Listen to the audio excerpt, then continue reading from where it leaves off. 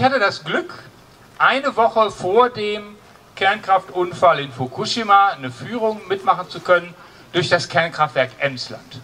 Das war sehr interessant, weil ich da ähm, gesehen habe, erklärt bekommen habe, wie so ein Kernkraftwerk eigentlich funktioniert.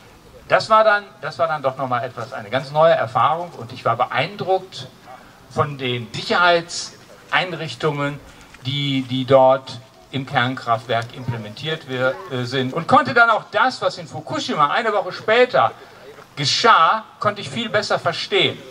Von, von der Physik her und auch von der Verfahrenstechnik her.